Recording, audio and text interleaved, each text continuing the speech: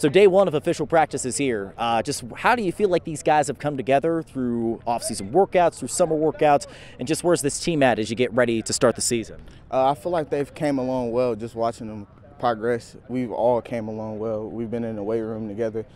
Being in the weight room together always builds that chemistry. We on the field together. We together a lot. Just building that chemistry, it just it help. It continues to fuel us. You know, coming off that state championship, there's always a target on this back with this Bishop Luers program. But now that you did win that state title last year, just how do you guys stay locked in and engaged, knowing you are going to get every team's best shot this season? Uh, doing the same things we did to win last year. Keep preparing the same ways. Keep staying humble, staying prepared. That's all we can do.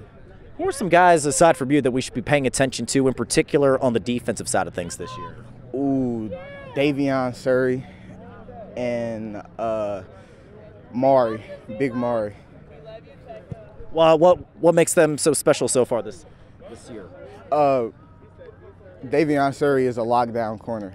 Uh, nothing, nothing in the air gets past him. So, and Mari, he's another nose tackle right behind me. He's great with his hands, physical. He's a great kid. For sure, man. Um, as one of those two senior captains for this year's team, how are you trying to lead these guys by example? Uh, same way the guys before me led me, showing, setting the, oh, sorry, setting, setting an example and uh, being a great leader, doing what I'm supposed to on and off the field, just being a great example. Simple enough, man. You take a look the next few weeks. What do you guys need to do as a team to make sure you are ready uh, and locked and loaded for week one against Leo?